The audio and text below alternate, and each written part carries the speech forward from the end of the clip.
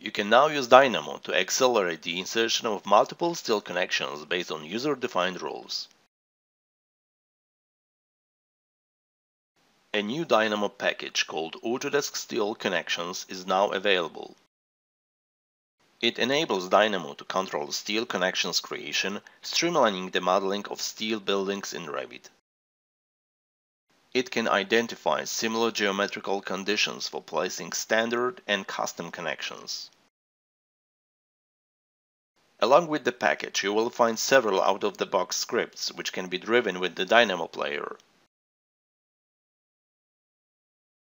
A typical Dynamo Steel connection script starts from a selection of model elements, moves on to grouping those elements into potential connection nodes, filters those nodes based on some criteria, and then places the connections.